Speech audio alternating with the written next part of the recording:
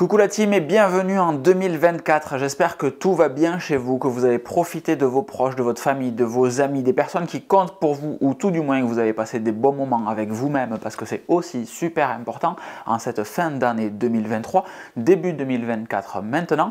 Cette petite vidéo, elle a juste vocation à vous partager des petits trucs sympas que vous connaissez sûrement déjà et un truc que je change et que je teste et comme d'habitude je vous demande votre avis, c'est l'arrivée des gommettes. Alors quand je vous parle de l'arrivée des gommettes, il y a à peu près 100% de chances que vous ne sachiez absolument pas de quoi je vous parle. Si vous allez sur locan.jp, en 2024, sur les trois articles qui sont sortis depuis, j'essaye, je vais mettre les gommettes de la couleur de la chaîne dont la vidéo est dans l'article. C'est absolument pas clair du tout. Je vous explique un petit peu plus en détail. Quand je fais un article, quand je prépare un article, j'ai une liste de rappels que j'appelle articles. Et dans cette liste de rappels articles, pour différencier sur quelle chaîne est-ce que je vais publier le contenu, des fois c'est un petit peu mélangé. Par exemple, le test d'une Garmin Epix, qui est une montre connectée qui vient directement en confrontation avec mon Apple Watch Ultra, et eh bien je mets un petit emoji en face bleu, vert ou orange qui me permet de savoir sur quelle chaîne va être publié le contenu. Comme ça ensuite derrière, ça nous permet d'être plus réactif et efficace pour pouvoir préparer la miniature, tout simplement. Et donc jusqu'à maintenant, quand un nouvel article arrivait, ben, je prenais le titre sans la gommette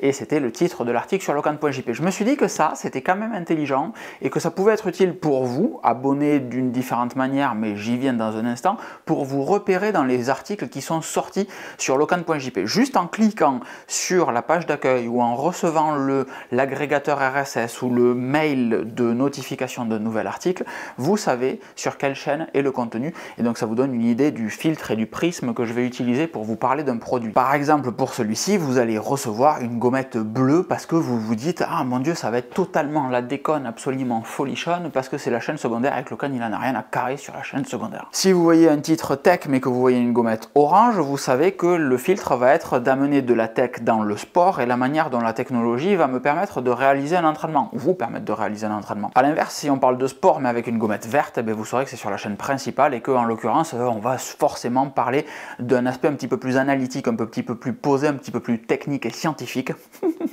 sur la chaîne principale. Bon voilà, en gros ça change rien du tout hein. réellement, c'est juste pour vous partager ce contenu là et savoir, puisque c'est un petit peu l'antichambre de toutes les autres chaînes, la chaîne studio, savoir ce que vous en pensez. Les commentaires sont là réellement et l'idée c'est d'échanger. Peut-être que c'est une idée totalement conne et qu'il y a des cas d'usage dans lesquels auxquels j'ai pas du tout pensé qui font que en fait c'est pas bien et on enlève ça et j'ai 4-5 articles à reprendre et on n'en parle plus de ces petites gommettes. C'est aussi l'occasion de vous rappeler que vous pouvez vous abonner en RSS directement aux chaînes YouTube. J'ai découvert ça sur Reader l'autre jour, je trouve ça absolument fabuleux. Donc les chaînes que je veux absolument suivre, je les ai en abonnement sur YouTube, mais je les ai aussi en agrégateur RSS, comme ça je suis sûr de ne pas louper quand une vidéo sort sur ces chaînes-là. Donc vous pouvez vous abonner en RSS directement sur Reader. Vous pouvez vous abonner en RSS au site si vous voulez voir tout le contenu qui est proposé. Parfois il n'y a que des articles sans la vidéo. Vous pouvez aussi vous abonner à la mailing list sur locan.jp slash mailing.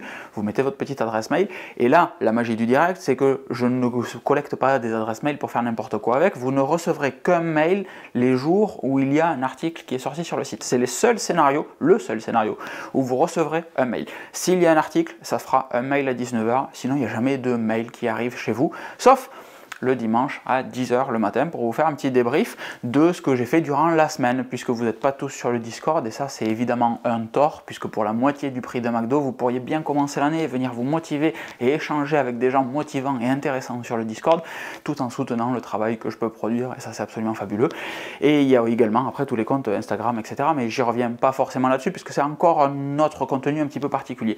Pour suivre le contenu, vraiment, l'RSS, la mailing list, c'est le feu pour soutenir le mieux, c'est le Discord. Vraiment, moi j'ai tendance à vous emmener sur le Discord parce que c'est juste trop trop bien. Et je suis en train de réfléchir si j'ai d'autres trucs à vous dire dans cette vidéo, mais non, c'est tout. C'est juste vous parler des petites gommettes pour avoir votre avis. Vous rappeler que vous pouvez vous abonner en RSS et à la mailing list sur euh, un ensemble global ou un sous-ensemble en fonction de ce que vous préférez.